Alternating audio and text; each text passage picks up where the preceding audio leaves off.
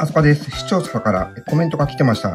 アイアンスパイダーマンのレックの作り方を教えてください。えこちら僕の作品じゃなく似たような投稿をしてる方がたくさんいすぎるっていうことなので、どの方の作品かっていうのはわからないんですけど、まあリクエストがあったっていうことなので、今回ご紹介になります。用意する部品はたったのこれだけになりますね。あとはこの並べてる通りに部品を、あの、組み立てていくだけになります。ちょっとじゃあ作っていきましょうか。結構簡単で割とすぐ作れます。で部品の種類もかなり少ないっていうことなので、まあ、作るのはめちゃめちゃ楽かなっていうふうに思いますね。はい、もう間もなく、えーアームが1本完成します。で、これでアームが1本できました。あとはこれを4つ、4セット作ります。はい。3、4、そして、あとこちら、こういうものにアームをつけていくだけになりますね。1つ目つけていきます。で、次2つ目。